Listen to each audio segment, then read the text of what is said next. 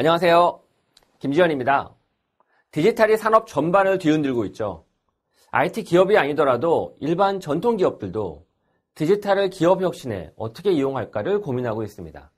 이때 가장 기본적으로, 아니 필수적으로 할 수 있는 기업의 digital transformation이 바로 데이터를 이용한 의사결정 체계의 도입입니다. 이걸 가리켜서 DDDM, 즉 data driven decision management라고 부릅니다. 인터넷 비즈니스가 이렇게 크게 성장할 수 있었던 이유는 데이터를 잘 활용했기 때문이죠. 이를 예를 들어서 이마트와 쿠팡을 이용할 때 가장 큰 차이는 뭘까요? 예전에 내비게이션 device를 이용할 때와 스마트폰의 티맵의 다른 점은 무엇일까요? 모두 데이터를 서비스와 사업에 어떻게 활용했느냐의 차이가 바로 다른 점입니다. 인터넷 사업은 다양한 종류의 데이터를 측정하고 수집하며 이것을 사업에 활용해서 상품을 기획하고 마케팅을 하고 사업을 효율화하고 개선시키면서 한 단계 한 단계 진화하죠. 한마디로 철저한 데이터 중심의 의사결정과 데이터 중심의 사업 체계를 가지고 있습니다. 카카오페이, 토스, 뱅크샐러드, 렌딧 이런 핀테크 기업들은 금융 데이터를 수집해서 이를 분석하고 사용자에게 맞는 최적의 금융 상품을 추천하거나 재테크를 위한 금융 서비스를 제공합니다. 이렇게 다양한 산업 분야에서 데이터를 활용해 사업 혁신에 이용할 수 있게 된 것은 두 가지의 기술이 뒷받침되었기 때문이죠.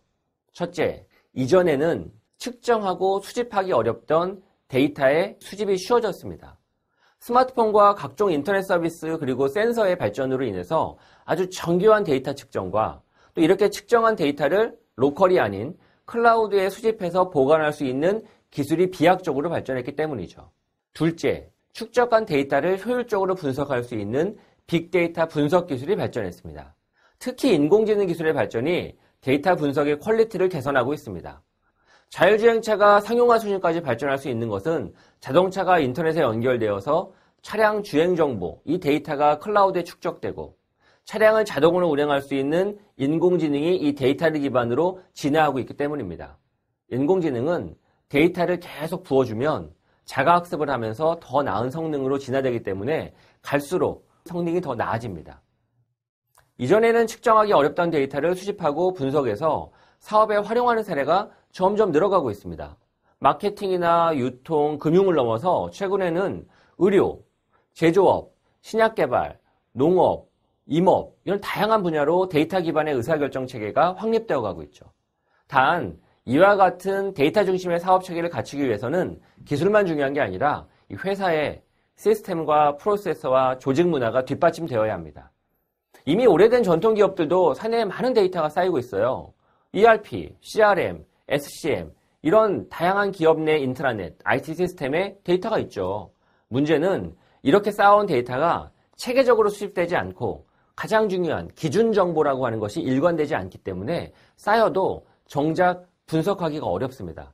한마디로 말하면 쌓인 데이터가 쓰레기라는 거죠. 게다가 분석한 결과를 실제 사업의 의사결정에 효율적으로 이용하지 않아 분석 따로, 결정 따로가 되기 일수죠. 이건 기술의 문제가 아니거든요. 문화의 문제지. 이렇다 보니 전통 기업들은 데이터의 중요성은 인지하지만 정작 데이터를 어떻게 분석하지? 그리고 이 데이터를 분석한 걸 의사결정에 어떻게 활용하지? 이거에 어려움을 겪습니다. 데이터 기반 체계를 갖추는 것은 기술만으로는 불가능하다는 얘기죠. 기술은 도구일 뿐이고 결국 이 도구를 사용하는 체계가 갖추어 있지 않으면 따로 국밥이 됩니다. 그래서 DDDM을 추진하는 과정에서 기술을 활용할 수 있는 조직 체계, 프로세스, 의사결정의 문화를 갖추는 것이 중요합니다. 이런 이유로 에자일한 조직 체계에 대한 관심이 커져가고 있는 거죠. 에자일 조직은 민첩하게 사업을 운영하는 조직 체계를 뜻하는 것입니다. 주로 프로그래밍을 하는 개발 업무에 적용하던 방식인데 이 같은 조직 체계가 빠른 업무 추진력을 필요로 하는 스타트업이나 기술 혁신, 즉 IT 기업의 중요한 성공 요소가 되면서 인터넷 기업에서도 적용되어 가고 있죠.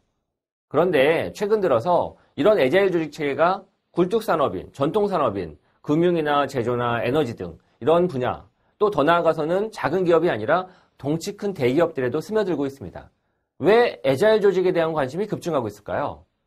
에자일 조직은 직무 중심으로 부서를 구분하지 않고 과제 중심으로 자기 완결형의 일처리를 할 수 있는 단일팀, 즉 원팀이 모여있는 구조입니다. 기획, 개발, 마케팅, 운영 등의 업무, 이런 여러 가지 직무 담당자들이 한데 모여있거나 단일 직무인 개발자들이 모여있더라도 특정 과제를 해당 팀에서 자체적으로 수행할 수 있도록 함으로써 업무 집중도를 높이고 같은 생각으로 이 팀원들이 빠른 일 처리를 할 수 있도록 해주죠. 중요한 것은 이렇게 구성된 팀이 과제를 빠르게 수행하기 위해서는 일관된 의사결정의 기준이 필요하죠. 그 기준이 현장에서 고객들로부터 수집한 데이터입니다. 데이터를 기반으로 냉정한 판단을 해야 한다는 것이죠. 팀장이나 임원의 개인 취향이나 경험에 의한 것이 아니라 고객 데이터를 기반으로 그 팀 내에서 자체 판단을 합니다. 기존의 사업 운영 체계는 시장 조사를 해서 전략을 수립하고 보고서를 상사에게 승인받고 예산과 인력을 할당받아서 업무를 추진하는 방식이죠. 이런 의사결정의 구조는 시간도 오래 걸릴 뿐만 아니라 잘못된 판단으로 인해서 사업이 망칠 개연성이 높습니다. 에자일 조직은 이미 팀 내에서 시장과 고객을 완벽하게 이해하고 있어서 굳이 시장 조사를 따로 할 필요가 없고 자체적인 의사결정을 할 수 있어서 보고를 누군가에게 할 필요가 없습니다. 예산과 인력 역시 이미 해당 팀에서 처리할 수 있는 권한, 위임이 되어 있어서 승인받는 과정에서 발생하는 커뮤니케이션이 생략되죠. 하지만 사업 과정에서 서비스 전략, 상품 기획, 마케팅 전반에 대해서 시장과 고객 데이터를 기반으로 수시로 의사결정을 하면서 수정 보완을 합니다. 하지만 에자일 조직 체계를 갑작스럽게 모든 업무 분야에 적용해서 단기적 성과를 거두려고 해서는 안 되죠. 신규 혁신 사업이나 단기적으로 명확한 목표 기반화의 단일된 과제 수행을 하는 경우 그런 업무에 한해서 적용해 가면서 우리 기업에서 이런 에자일 조직 체계를 진행하는 과정에 어떤 문제가 있고 이를 극복하는 경험 속에서 새로운 우리만의 변화 관리 방안을 찾아야 합니다. 그러므로 이 과정에서 실패에도 용납할 수 있을 만큼의 작은 일을 에자일 조직 체계로 추진해야 하죠. 너무 큰 프로젝트를 이렇게 에자일 조직 체계로 운영하게 되면 실패의 위험 부담을 떠안게 되면 그러면 차후에 유사한 도전을 회사에서 시도조차 하지 않으려고 할 수 있습니다. 그래서 실패를 허용할 수 있는 범위 내에서 이런 과제들을 에자일 조직 체계로 적용하면서 성공과 실패를 경험해야 하죠. 더 나아가서 이런 조직은 언제든 해체와 합체가 자유로울 수 있도록 유연하게 운영해야 합니다. 에자일 조직으로 구성된 단일팀은 업무 성과에 따라서 혹은 과업 수행이 완료된 이후에는 쉽게 해체해서 또 다른 과업에 투입될 수 있어야 합니다. 한마디로 아메바와 같은 자유롭게 모였다 흩어질 수 있는 그런 조직이어야 한다는 거죠.